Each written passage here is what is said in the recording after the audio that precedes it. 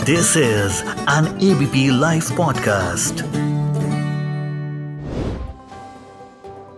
भारत में चुनावों का मौसम चल रहा है और जिस वक्त आप और हम ये बातचीत सुनेंगे तो उस वक्त तीसरे चरण का मतदान हो रहा था और शाम तक यह वोटिंग खत्म हो जाएगी बहरहाल, चर्चा का विषय है प्रधानमंत्री मोदी का मुस्लिमों को लेकर दिया गया एक बयान उन्होंने मुस्लिम समुदाय से इस बार सीधे सीधे आत्मचिंतन यानी इंट्रोस्पेक्शन की बात कह दी है। इसके साथ ही उन्होंने मुसलमानों को कई और सलाह भी दी। मैं हूँ व्यालोक और इस विषय पर बात करूँगा मैं उमेश चतुर्वेदी जी से वरिष्ठ पत्रकार। सर बहुत बहुत स्वागत है। जी धन्यवाद। नमस्कार व्यालोक जी। सर पीएम मोदी ने इस बार सीधे एड्रेस किया है मुस्लिम समुदाय को और कहा है कि उनको इंट्रोस्पेक्शन करने की आत्मचिंतन की ज़रूरत है। इसके साथ और भी कई सलाहें दी इस वाक्य को कैसे देखें? हाँ बिल्कुल। मैं इसमें ये जोड़ना चाहूँगा व्यालोक जी कि भारत में आज़ादी के बाद या कुछ दिन पहले के से ही कह सकते हैं आपकी, खासतौर पर उन्नीसवीं सदी के उत्तरार्ध और बीसवीं सदी की शुरुआत से ही देख सकते हैं कि मुस्लिम कम्युनिटी को उसके नेताओं ने और कुछ खास दलों ने एक तरह से अपने वोट बैंक और अपने समर्थक आधार के रूप में विकसित किया है। आज़ादी के बाद तो ये बहुत ज़्यादा बढ़ा और उसके बाद निश्चित तौर पर चूँकि सरकार कांग्रेस की रही है तो सीधा सीधा ये आरोप कांग्रेस पर ही लगता है सीधी सीधी ये जवाबदेही भी कांग्रेस की बनती है कि जिस तरह से कांग्रेस ने मुस्लिम वोट बैंक को विस्तृत किया और मुस्लिम समुदाय को एक वोट बैंक में तब्दील किया। जी। और वो ऐसा बन गया कि सिर्फ़ उसके लिए वो वोटिंग करता रहा। बाद के दिनों में समाजवादी धड़े के भी कुछ दल जैसे बिहार में राष्ट्रीय जनता दल है लालू यादव का या उत्तर प्रदेश में मुलायम सिंह यादव समाजवादी पार्टी है या फिर अभी पश्चिम बंगाल में कांग्रेस का ही एक्सटेंशन कहिए या एक पार्ट कहिए तृणमूल कांग्रेस है। एक दौर में वामपंथी पार्टियाँ भी खासतौर पर पश्चिम बंगाल में और केरल में। उन्होंने उस मुस्लिम वोट बैंक को एक मुस्लिम समुदाय को एक वोट बैंक में तब्दील तो कर दिया। एक हुंकार भरने के लिए एक समूह तो बना दिया।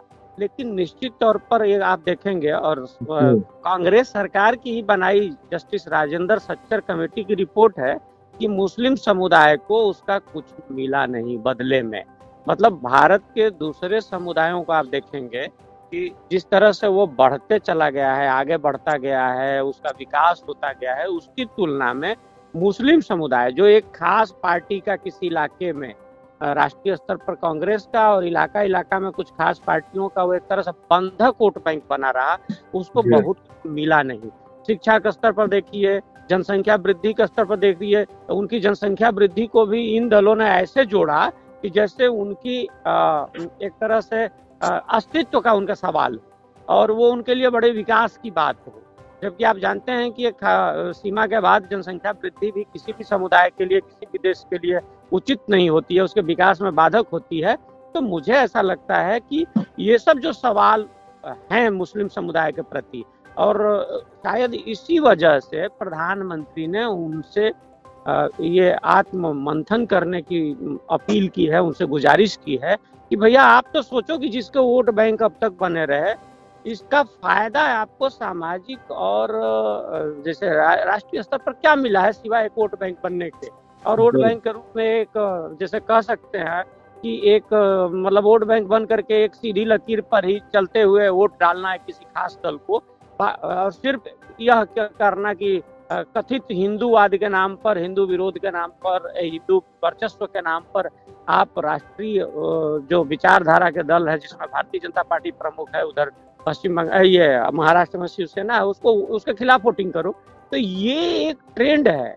ये गलत है और आप सोचो मतलब प्रधानमंत्री कह रहे हैं। और ये प्रधानमंत्री, ठीक है कि ये चूँकि प्रधानमंत्री कह रहे हैं, इसीलिए हम लोग इस पर बात कर रहे हैं, लेकिन मुस्लिम समुदाय के कुछ प्रखर बुद्धिजीवी, जैसे हिलाल अहमद हैं उनको मैंने अभी हाल ही में सुना था, वो भी ये सवाल उठा रहे हैं। आरिफ मोहम्मद खान इसको उठाते रहे हैं, जो खुद कांग्रेस से ही राजनीति शुरू किए थे, समाजवादी धड़े में भी रहे और जो भारत की राजनीति को धार्मिक आधार पर बदलने वाली जो राजनीति है उसको प्रभावित करने वाले साहबानों प्रकरण के दौरान से चर्चित शख्सियत रहे हैं या जो भारत में जो तीन तलाक और हलाला का जो मुस्लिम समुदाय में एक दुष्प्रभाव रहा है उसको एक खिलाफ अगर आवाज़ उठाने वाले हैं तो ऐसे लोग मुस्लिम समुदाय से भी उभर के आ रहे हैं और जो लोग कभी कांग्रेस समर्थक या सोशलिस्ट समर्थक बुद्धिजीवी होते थे अब वो लोग ये सवाल पूछने लगे हैं कि भैया मुस्लिम समुदाय को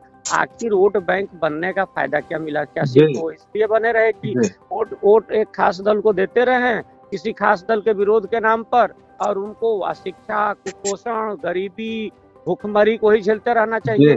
तो मुझे लगता है कि ये एक बहुत प्रभावी अपील है और ठीक है, प्रधानमंत्री ने किया है, लेकिन ये समाज के कई वर्गों की ओर से उठने लगा है। तो मुझे लगता है कि इसका इसको इस एंगल से देखना चाहिए, इस नज़रिए से देखना चाहिए। जी, और प्रधानमंत्री ने दो तीन और सलाह दे दिए। उन्होंने एक बात वह भी कही जो आपने बताई कि वो बंधक न बने, खुले तौर पर ये चिंता करें। और जिस बात पर अमूमन पीएम चर्चा नहीं करते हैं उस गुजरात के अध्याय को भी उन्होंने छुआ। उन्होंने कहा कि बहुत आरोप लगाए गए सब कुछ हुआ लेकिन 2002 के बाद से गुजरात में दंगे नहीं हुए। और सबसे पहले वह आत्मचिंतन की बात करते हैं। बिल्कुल बिल्कुल। देखिए यही तो है कि अगर जो मुस्लिम समुदाय है एक बल्क थोक वोट बैंक के रूप में विकसित नहीं हुआ होता एक खास दल या इलाके के खास दल के पीछे चलने के लिए एकदम से आँख मुद के तैयार नहीं हुआ होता तो शायद गुजरात के जो गोधरा दंगे हुए हैं या जो कार सेवकों पर हमले हुए थे, उसकी प्रतिक्रिया हुई थी, और उस प्रतिक्रिया में जो दंगे हुए, वो इतने दंगे भी नहीं होते और इसको लेकर के एक खास तरह का नैरेटिव एक खास तरह के वैचारिकी को विकसित करने की कोशिश नहीं हुई होती। क्योंकि मतलब ये 2002 की घटना है गोधरा की घटना और उसके बाद आप देखेंगे और उन्नीस सौ बानवे से तो हालाँकि शुरुआत होती है। बल कोट बैंक तो मुस्लिम रहा है लेकिन फिर भी उसमें एक उदारवादी तत्व रहे हैं। लेकिन उन्नीस सौ बानवे और 2002 के बाद एक तरह से चौतरफा जो कोशिश हुई आ, मुस्लिम को अपने खेमे में लाने की और उनका रहनुमा बनने की उनका एकमात्र मसीहा बनने की उसका एक दुष्प्रभाव ये हुआ कि मुस्लिम समुदाय कहीं मतलब बहुसंख्यक समुदाय की तुलना में आक्रामक होता गया। और उस आक्रामकता को कभी वो अभिव्यक्ति वोट बैंक के रूप में अपने को तब्दील करके देता है तो कभी कुछ और आंदोलन करके। लेकिन ये भी सच है कि कई बार ये जो चीज़ें हैं वो टाली जा सकती थी और शायद ये इस टालना आसान तब होता जब बाकी समुदाय जिस तरह से सोचते हैं।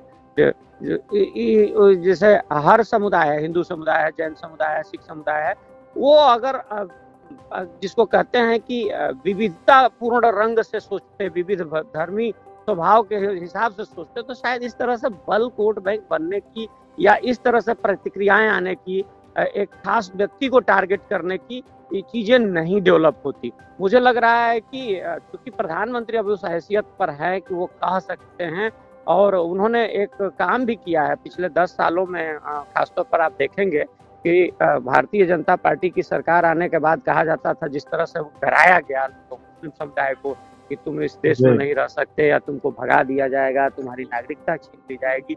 इसके बाव और मुस्लिम वोट बैंक इसके नाम पर बना रहा थोक वोट बैंक बना रहा इसके बावजूद ऐसी कुछ घटनाएँ नहीं हुई। उल्टा आप देखेंगे मैं इस समय डाटा लेकर के नहीं बैठा हूँ लेकिन आप देखेंगे कि अल्पसंख्यक समुदाय को रिकॉर्ड छात्रवृत्तियाँ दी गई। उनको आ, जो भारत सरकार की योजनाएँ हैं खासतौर पर गरीबी मिटाने के लिए आवास देने के लिए शौचालय देने के लिए उज्ज्वला देने के लिए उसमें उनके नाम पर कोई भेदभाव नहीं हुआ है। ये मुस्लिम है तो इनको नहीं दिया जाएगा। तो मुझे लगता है कि ये जो प्रधानमंत्री के पास उपलब्धि है शायद इसी वजह से वो ये कहने की हैसियत में है लेकिन अगर ये उपलब्धि नहीं होती तो ये यकीन मानिए व्यालोक जी कि क्या होता है कि फिर जो आ, मुस्लिम वोट बैंक की रहनुमाई और मसीहाई करने वाले दल है जी। इस पर भी सवाल उठाते और ये जो वैचारिकी का जो बंधक बनना है वो समुदाय आज तक इस तरह से सोचता ही है कि वो इसको भी विरोध में ही ले लेता। तो मुझे लगता है कि एक शुरुआत होती है और कहीं ना कहीं से तो करनी पड़ती है।